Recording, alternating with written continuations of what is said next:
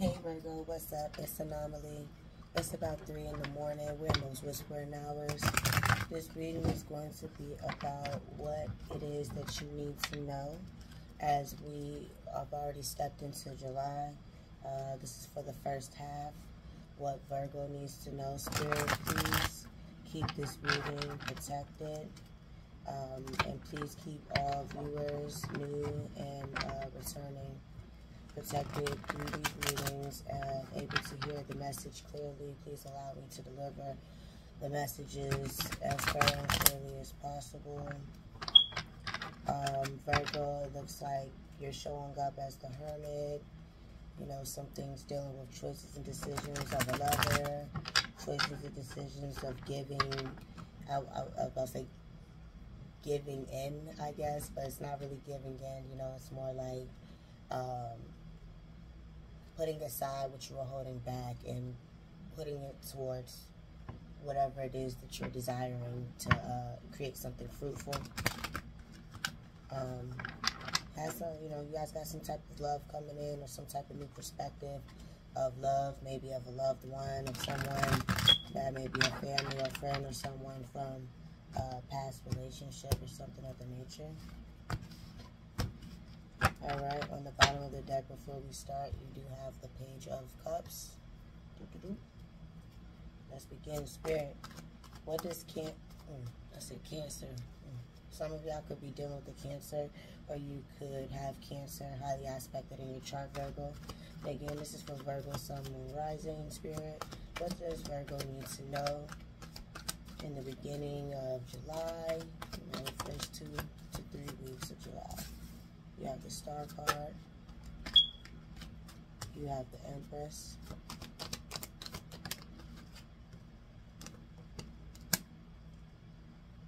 Hangman, suspended person. Oh, this does not belong here. The Eight of Swords in reverse.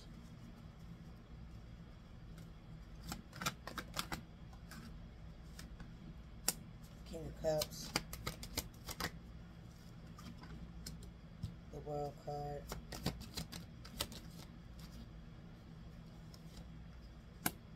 The Seven of Cups. Alright, so many. But that one stay down. So the Queen of Cups. Okay, so there's counterparts. We have the King and Queen of Cups at the bottom of the deck. Sorry, I'm going to try to reposition that camera just a little bit for you. Boom. Alright, but in this situation, this King of Cups is facing in the opposite direction. It looks like with this Seven of Cups here and the World card, some type of ending of maybe games or a facade or wearing a mask is coming into play. Maybe somebody's choosing to walk away or, or you know, choosing to turn to something else. Or some, this you know, this individual, this King of Cups man, I know that this Queen of Cups, you know, does not have these masks on, but these, you have counterparts out here. Um, you have three major arcana, the Star, the Empress, and the World card. Above with the Star, the Empress, you also have the Suspended person, and then you have the Eight of Swords in reverse. So there's something that is um, probably mentally hard to get through. It could feel like you're attached to this thought or idea or this concept, and it's like you can't necessarily break free. You may even feel that this particular um, concept or thought process is what keeps you in a, a stuck position and whatnot. But with the Eight of Swords in reverse, this could also be some type of bad conversation about you, which manifests this uh, suspended person, uh, this hangman position for you, Virgo. And then we have the Star and the Empress out here. So, um, let's see, where do we start? I guess let's clarify, what is this Eight of Swords spirit for Virgo? Eight of Swords spirit for Virgo.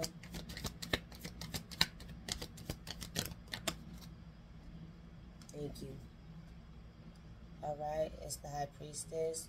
It's something that you have, you're intuitive about, or you have some type of knowledge or gain some type of knowledge through, whether it be your own intuition or you going to speak to others. It isn't, you, you know, you could have went and saw a tarot reader, you could have been listening to a reader, or you could do it yourself. But you could also just through having conversations with people, feel the situation out, and know that something you know, is a little bit off. Um, you know sometimes you wait around people, or, or like, okay, the other day my grandmother called me, and you know I was with my little sister, and you know, oh, I I wanted you to get this for me from Walmart, and I'm like, okay, well, I I, wasn't, you know, I wasn't in Walmart. Walmart at the time you called me, I was in the movie theater. And then it turned to, okay, well, where are you going now? Well, where are you at now? Where are you on your way to? And it's like, I don't want to tell someone else's business because that's not my business necessarily to tell. We're just chilling and vibing. It's not supposed to be like a police investigation, you know? And so I was just like, well, we're going here and here. And he was like, well, you didn't have to say it like that. It's just like, whoa, I, I didn't say it like anything. And then uh, I didn't, did I say something wrong? Okay, you know what, just do, bye, bye. And then you turn to the other person who witnessed that conversation, right? And you're just like, so was I rude? Was I like, you know, not like was I nasty to, you know I'm saying, the individual on the phone? And they're like, no, I didn't hear that from you, you know. And it's just like, but that that sits on your brain for a little bit, at least on my brain, where I'm like, did I offend my grandmother? Like, if I did, what did I do to offend you? And why can't we just talk about it? You know what I'm saying? So it's like feeling a situation out when you know that something isn't right, or you, you, you just may know that you have conversation that's going on surrounding you, about you. And like with this card, um, again, this isn't a card this deck. I don't even know why this is in here. But um, this, the Eight of Swords, and it's in the reverse. It's like it all surrounds you, no matter if it's upright like this. The card still looks the same. It's just that in reverse, it just might not be so nice of a conversation that's uh, being had or nice words that's coming out. Thank you for the clarity, Spirit. But on the bottom of the deck, you do have the Strength card. The Nine of Pentacles and the Five of Swords. You know, in this dilemma or this situation, you remain a strong. Here, you know, most of you may be single or maybe just very abundant. You know, what you've been planting, the seeds you've been planting, they're growing and um, flourishing and whatnot. And that's also bringing up your stamina because when you see the abundance of your work um, flourishing and growing and producing in the right direction, you feel good. And a lot of times, it's not hard for you to be in this five of swords anyway. Energy, I said anyway, energy. Um, this five of swords energy where you're able to, you know, basically like lay the swords down, drop the conversations, block people out that just don't serve you. Reserve, you know, keep what you need for yourself. Two swords, one sword in the air. You know what I'm saying? You have this truth here that is stated and known amongst you and these individuals over here. They got their swords laid down because there's nothing else to say at this point. We we not vibing. We ain't talking. But you leave these two swords up here because this is this is not for everybody's business. It's not for everyone to know, you know. But it, through this, you've learned to be strong, Virgo. I'm very proud of you for that. Okay, so um, what's going on with the star and the Empress spirit? All right, you have the King of Swords here, clarifying the star and the Empress this is just background detail information. So somebody who uh, is, I want to say highly skilled. I don't know why, but very skillful. They're very knowledgeable. They're very wise. Um, and with, you know, maybe to some degree, you guys match in energy, like with that yellow. You know what I'm saying? Um, that yellow energy, but it could be that this person, like, they know a lot about you. Maybe they've researched or looked into you, Virgo. Maybe this is who you're looking into. You could be looking into someone who is, seems like somewhat of an angel, or seems like an angel, or is an angel. You know, someone who embodies all of the energies of, you know, earth, wind, fire, and air. You know, the cups, the pentacles, the wands, the swords, like, and able to, uh, they're able to maintain themselves, you know. On the bottom of the deck, we still got the same cards. Y'all blocking off people, places, and things. Let's keep going, Spirit.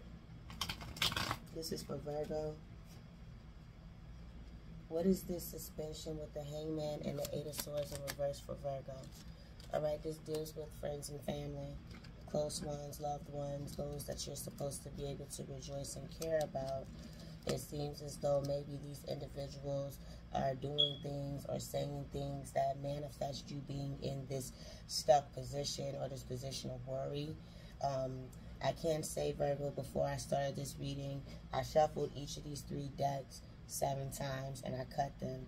And then after that, I did a series of breathing where I breathed in for almost 10 to 15 seconds, held it in, and then I slowly released it. But I did this seven times. So seven can be a significance for you.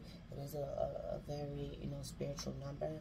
But also, you know, maybe this could be in seven days' time, seven months' time passing. This could be seven friends, seven family members. This could be, you know, this could even, you know, I won't, I'm not going to say work associates because I just don't see work in this. But um, what's the deal with the Empress and the suspended person?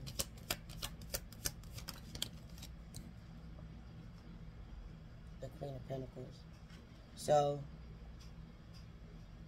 let's see.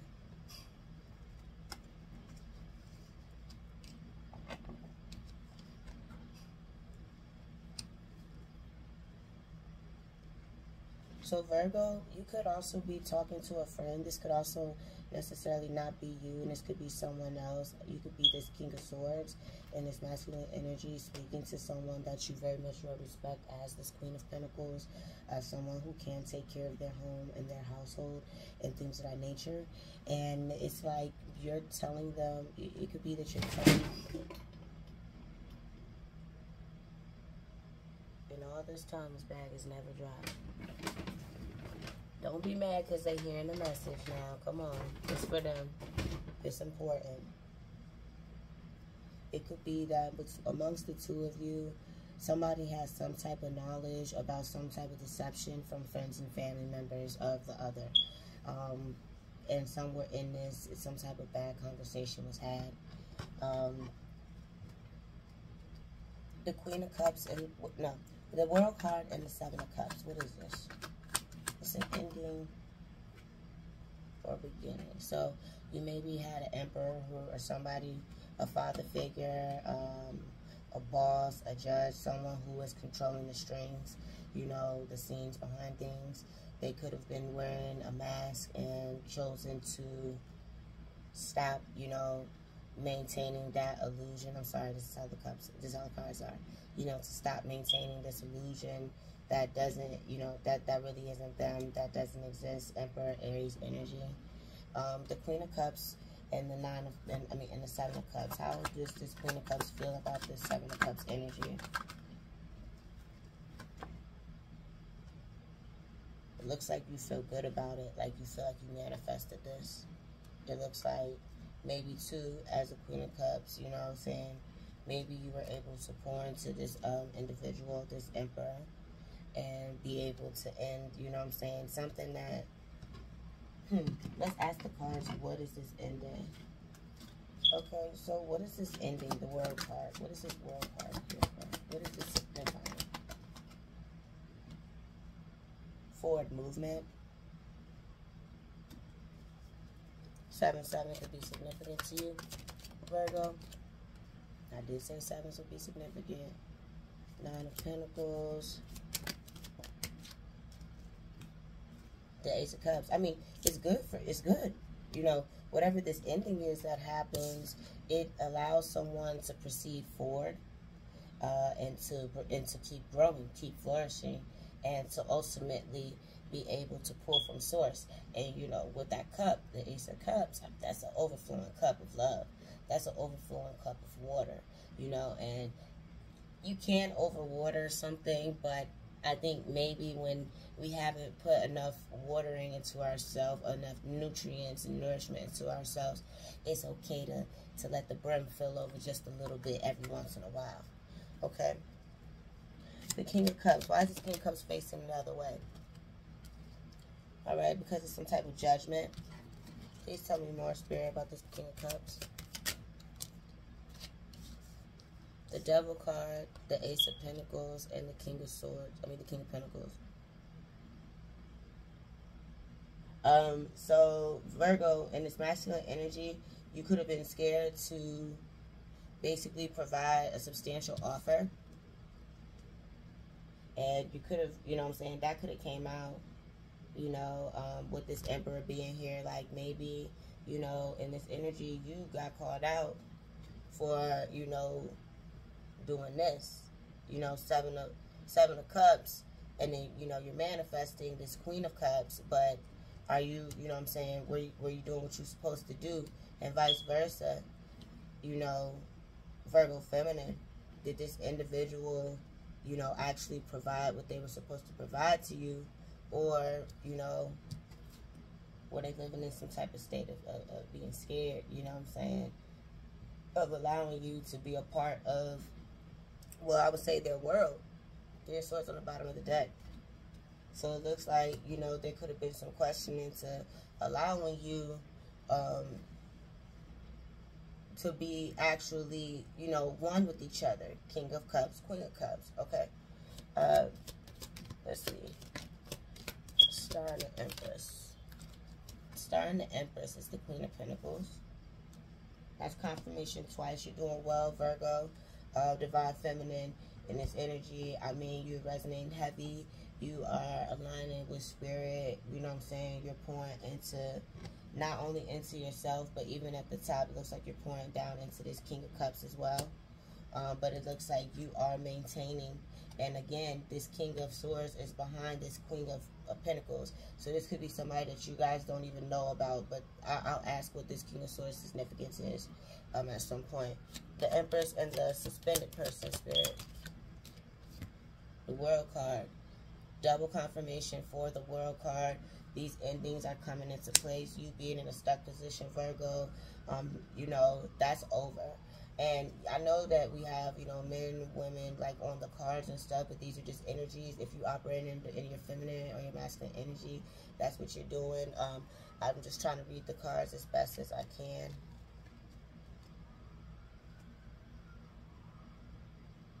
Someone else, and, and this could be another Virgo that you're dealing with, or this is the other set of Virgos. Like, again, you have the hangman, which was a suspended person over here. Well, now this person has to go through, you know, being like thinking about this commitment, this Two of Cups, you know, this household, this family, this bond that went into place. You know, they have this, they they got to sit back and they got to think about, you know what I'm saying, what they've been offering with this Four Cups. All right, the hang, the suspended person, and the eight of swords in reverse. Okay, that's two cards. Sorry. Hang, suspended person, eight of swords in reverse. All right, we have the seven of um of wands in reverse. So that means that whatever this is bounces back to whoever sent it. It goes back to the sender. So on the top, you have the Queen of Pentacles, the World card, and the Seven of Wands in reverse. You're no longer going to keep going in a direction that does not suit you or your household. You're going to start going up. It's only up from here, right? The Wheel of Fortune is on the bottom of the deck in the upright. Let's see what's behind it. The Four of Swords, that's spirit, prayer, meditation. That's, you know what I'm saying, coming into one with self and with spirit, alignment and whatnot. And then the Five of Swords, Five of Swords, Five of Wands, that's being passionate. That's that's people possibly even being confused about your choice and your decision about whichever step you choose to take going forward. Okay? King of Cups in the World card, Spirit. It's the Fool card, okay? Justice on the bottom of the deck. The World card and the Seven of Cups is the King of Swords again. Double confirmation on this King of Swords. This King of Swords is an Emperor as well. This King of Swords, as this Emperor, again, I feel like to some degree may have called somebody out on wearing a mask, on playing games, on, you know, trying to work trying to work the room with these options and whatnot. And this person freely, this King of Swords freely could have came out and said it, or is going to come out and say this. Justice card on the bottom of the deck, the Seven of Cups and the Queen of Cups. Is the Two of Wands. This is a decision between the both of you with the Magician here and the Emperor. That uh, you, This is nice. Um, Aries energy again. Um, there's a decision that's being made amongst you two. The Hermit, which is your card on the bottom of the deck the Two of Cups, the Four of Wands, and the Nine of Swords. whatever this is, this commitment is, this connection is, this household, this family is it you know what I'm saying? You're you're you're working your way up out of that energy of whatever it is that you had to hide about it. Even though I know that the hermit is your card, it still seems like this is all hidden hidden energy, you know what I'm saying? Um, and the nine of swords is you come you know coming to terms with things and bearing the cross as it comes the Ace of Swords on the bottom of the deck is the truth. It's also a new beginning that comes out.